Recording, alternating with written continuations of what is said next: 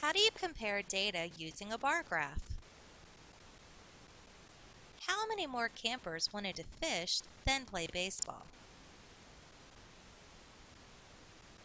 In this lesson, you will learn how to compare data by using a bar graph. Let's review. A bar graph has axes. There's the vertical axis and the horizontal axis. Data from a table can be shown in a graph.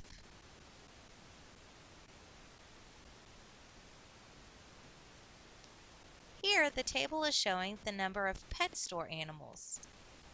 Fish, dog, rabbit, bird.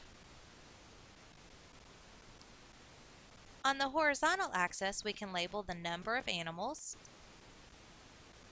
and on the vertical axis, we could label the type of pets.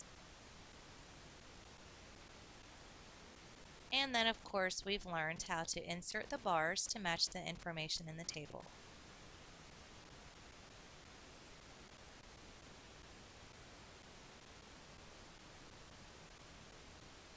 A common misunderstanding when comparing information on a bar graph is thinking that we add when asked how many more. For example, how many more campers wanted to fish than play baseball?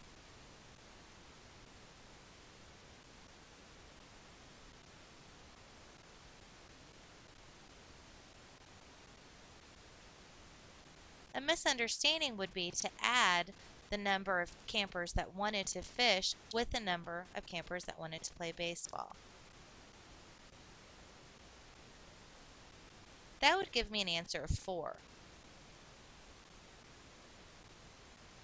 But that's not correct because if only three people wanted to fish and only one person wanted to play baseball, it wouldn't make sense that four more people wanted to fish than play baseball. The first thing you need to do is identify what the problem is asking. So let's think about what the question was asking. How many more campers wanted to fish than play baseball? I look at my bar graph to determine that three campers wanted to fish. Looking at my bar graph, I see that one camper wanted to play baseball. How many more is my clue?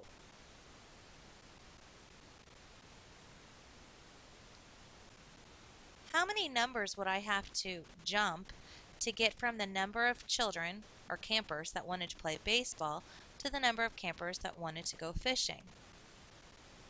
One, two. So I'd have to do two jumps to get to that number. So two more campers wanted to fish than play baseball.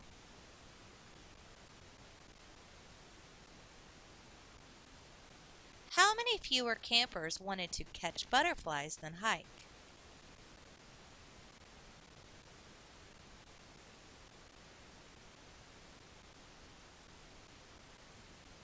Well, looking at my bar graph here, I see that four campers wanted to catch butterflies and six campers wanted to hike.